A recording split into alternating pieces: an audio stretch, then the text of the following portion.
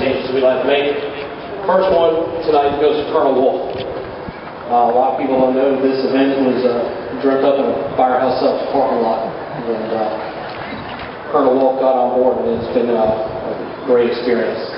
It says, uh, presented to Colonel Wolf of the U.S. Army in honor and appreciation of the daily sacrifices made for so many by a special few.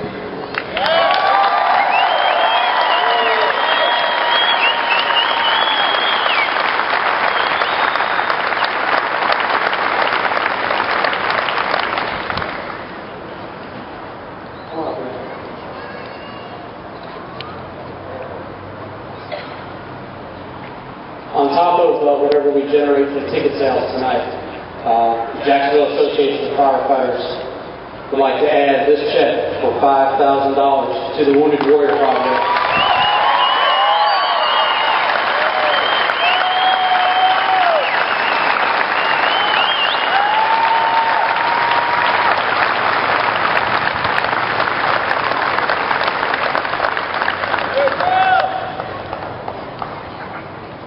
A moment thank you.